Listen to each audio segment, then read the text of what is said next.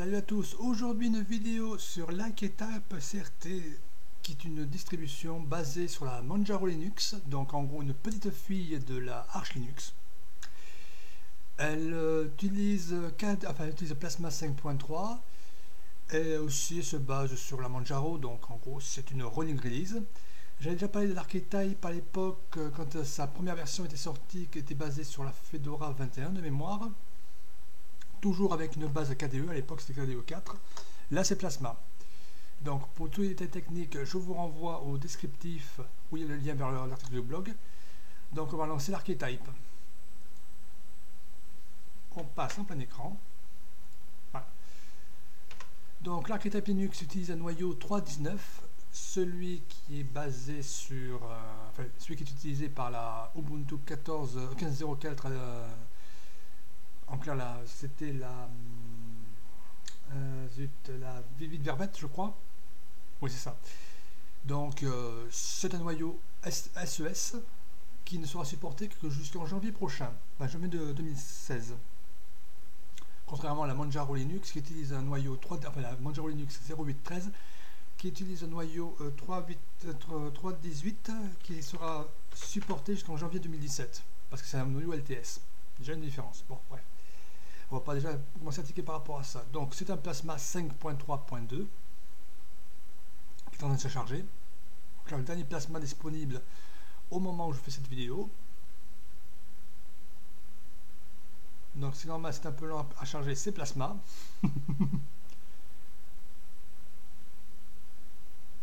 Ou s'il y a peut-être une machine virtuelle qui joue.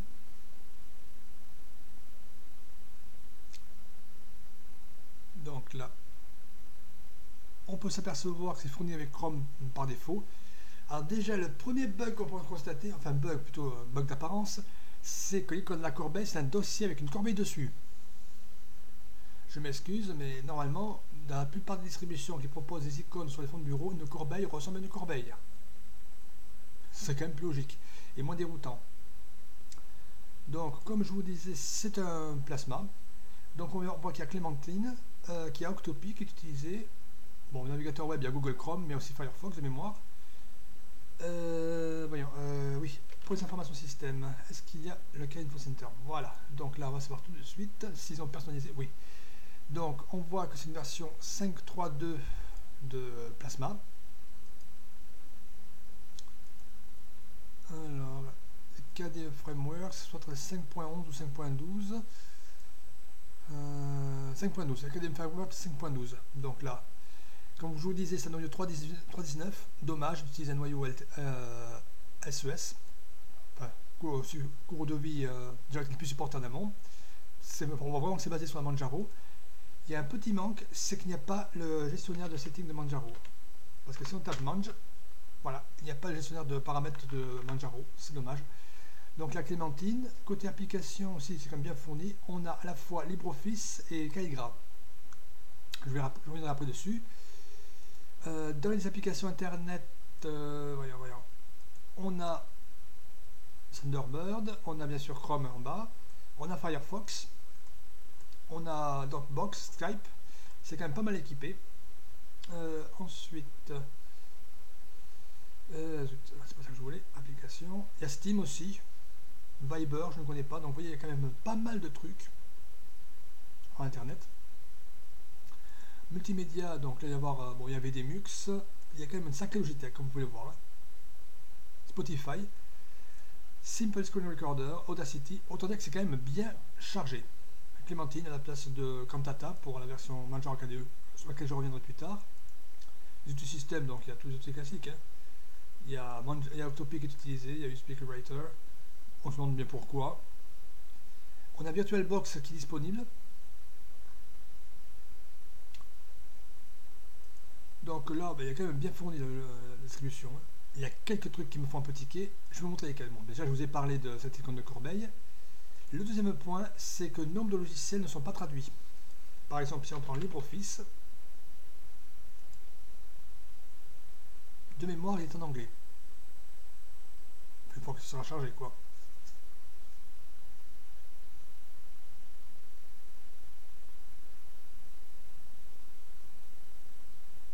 En anglais. Si on cherche euh, Calligra Word, Words, pardon, je ne sais pas s'il sera traduit ou pas. J'espère qu'il sera traduit parce que sinon ça va foutre un peu mal côté traduction. Hein. Hmm.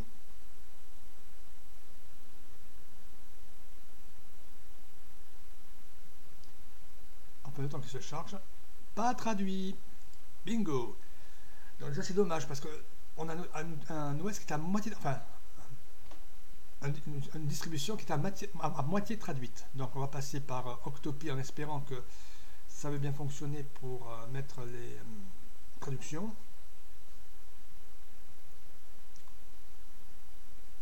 En tout cas, c'est quand même décevant que ça soit à moitié traduit.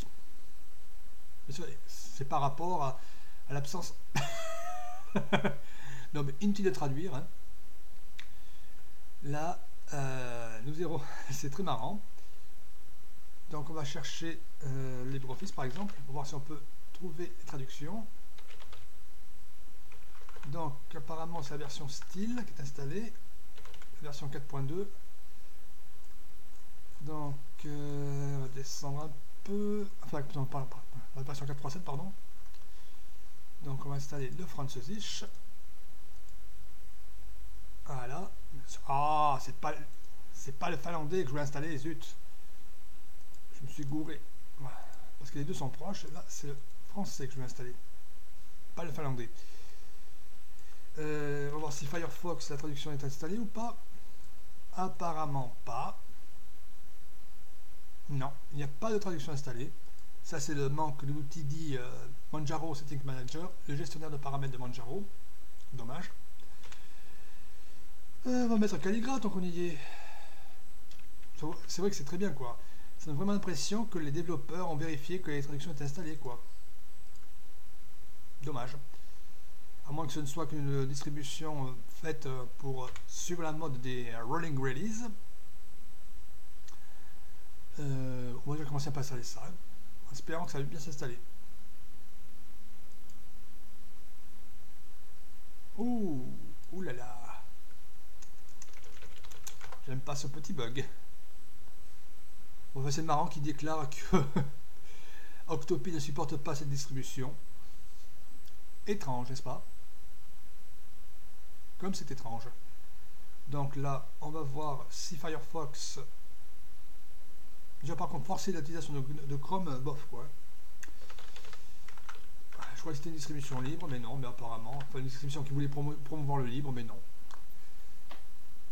Enfin, c'est pas mal, si les personnes sont habituées à Chrome, tant mieux pour elles, hein. mais personnellement, je préfère Firefox. Question d'éthique et de respect de la vie privée. Non, déjà c'est bon, c'est traduit en français. Et bien sûr, quand on lance le logiciel, il va directement sur la page Manjaro. Joie. Alors que l'archetype, c'est de mémoire archetype.org.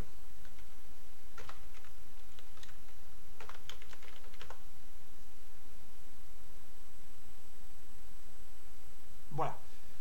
Donc je vérifie si euh, Google Chrome pointe vers euh, la page d'archetype. Ce qui serait quand même pas mal montrerait que les développeurs ont mis un minimum de bonne euh, volonté pour cette version.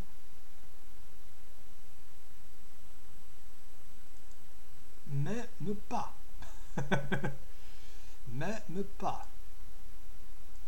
Donc là, on va voir si LibreOffice passe bien en français. De mémoire, c'était la version euh, style. Oh, un LibreOffice en français, comme c'est bien. Donc vous voyez, là je suis quand même un brin déçu par cette distribution. Parce que qu'est-ce qu'elle apporte de plus euh, qu'une Manjaro KDE, je sais pas quoi. On va voir. Voilà, donc vous voyez, il y a, Google Drive. Si vous utilisez si vous utilisez si vous utilisez les outils Google, vous êtes satisfait. Mais si vous n'utilisez que, peu Google juste pour le courrier électronique ou autre, là. Euh, éditeur d'image, il y a GIMP, PS Inkscape. Bon, il est bien fourni la distribution, mais le problème c'est que la traduction est à pleurer. Comme j'avais précisé dans l'article, même si on prend le clavier français, on se retrouve avec le clavier espagnol. Euh, le noyau, moi je me demande pourquoi ils ont utilisé un noyau qui n'est pas supporté euh, beaucoup plus longtemps que ça. D'ailleurs la preuve, je vous l'apporte avec... Bon, ben, je vais utiliser Google Chrome, on sous les yeux. On va pas se faire chier. Donc si on va sur kernel.org, qui permet de lister les noyaux encore supportés, on ne voit plus le 3.19. Même le 4.0 est arrivé en fin de vie. Donc là, euh, les seuls noyaux supportés sont le 4.1.3, la série des longs termes, en gros le 3.18, 3.14, le 3.12, le 3.10, le 3.4 et le 3.2. Là, je ne sais plus lequel, je crois que... Euh, alors, euh, je crois que c'est la page Release qui permet de savoir... Releases, qui permet de savoir... Mais qui permet de savoir lesquelles versions Ah, zut. Euh, mais non, on lui pas. Euh, Linux, LTS kernels. Non. Ah, ça permet de savoir. Voilà, releases, catégorie releases, j'étais pas loin. Donc voilà les seuls noyaux qui sont supportés. Donc en gros, euh, le noyau, le prochain noyau à passer l'arme à gauche, c'est le 3.10, parce qu'il va décéder entre guillemets, il va être abandonné au courant septembre. Le noyau 2632 est bientôt abandonné. Donc les seuls noyaux qu'on peut conseiller en mode LTS, c'est le 3.4, le 3.14 et le 3.18. Donc un noyau 3.19, euh, non. Désolé, ça ne, se fait pas. Donc on va comparer avec la Manjaro KDE 0813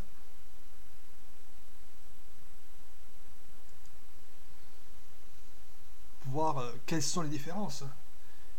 Bon, d'ailleurs ça c'est un petit bug, c'est pas grave. Mais pour moment l'archetype, quel intérêt quoi je dirais. Hein. Donc on va comparer avec la Manjaro Linux 0813 KDE que j'ai installé et mis à jour euh, en parallèle. Donc là un noyau, LTS, le 318, qui sera supporté jusqu'en janvier 2016 de mémoire. 2017 euh, pardon, 2017. Donc ça laisse quand même encore une petite année des poussières de support. C'est déjà plus rassurant qu'un noyau qui va mourir dans quelques mois. Mhm.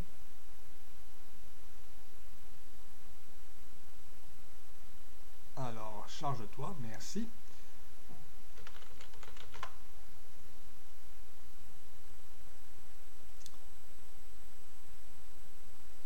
Donc sa présentation est légèrement différente, mais c'est bien Plasma 5.3. Euh, je vous prouve d'ailleurs que c'est bien Plasma 5.3 une fois qu'il sera chargé.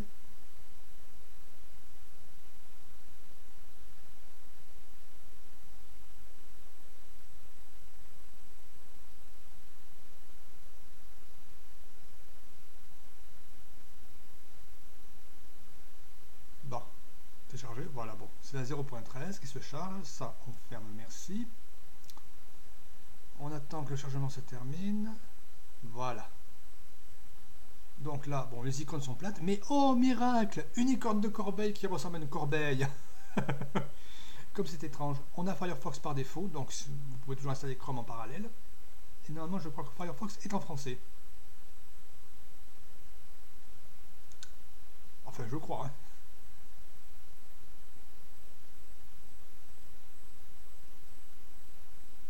va savoir ça très rapidement. Enfin, du moins en théorie.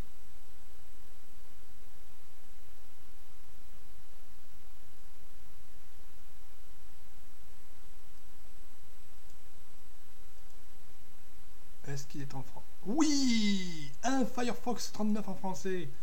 Oui, c'est bon de voir ça.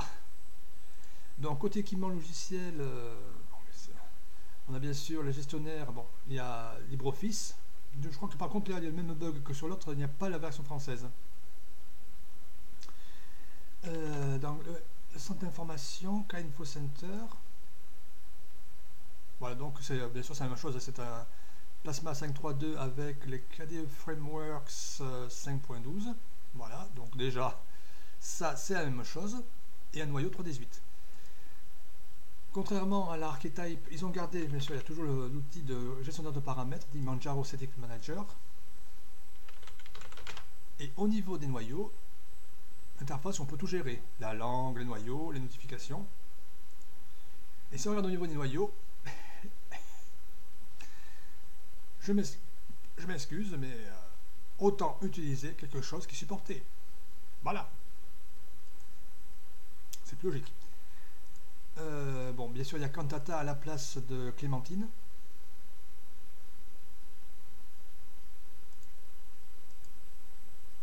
Voilà, donc ça, euh, là, terminé.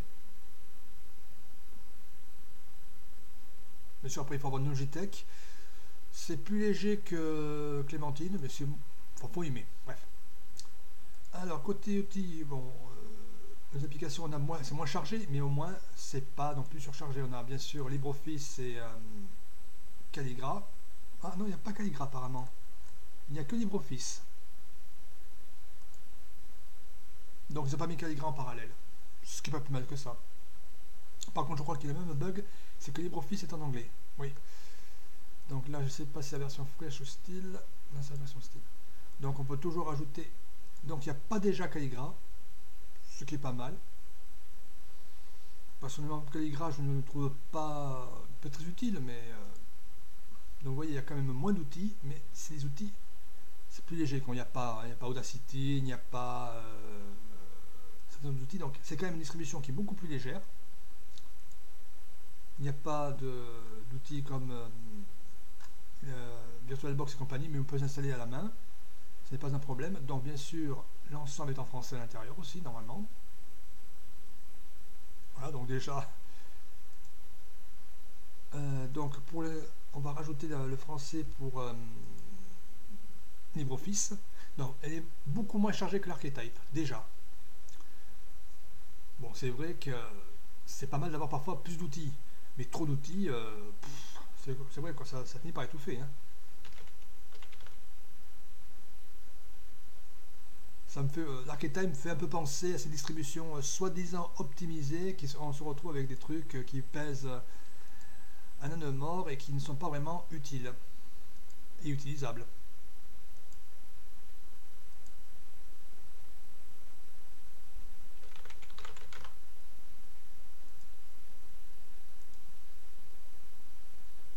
Ah mince, je me suis gouré, c'est pas celui-là que je voulais mettre. Euh je me suis gouré. C'est pas celui-là que je voulais mettre. Voilà, c'est la version style. Là, c'est pour ça qu'il m'a fait une petite gueulante. Oups, autant pour moi.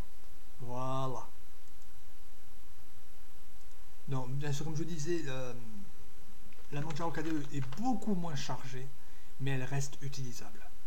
Bien sûr, il faut rajouter certains outils à la main, mais euh, je m'excuse, il n'y a pas besoin d'avoir Calligra et LibreOffice. On a soit l'un, soit l'autre.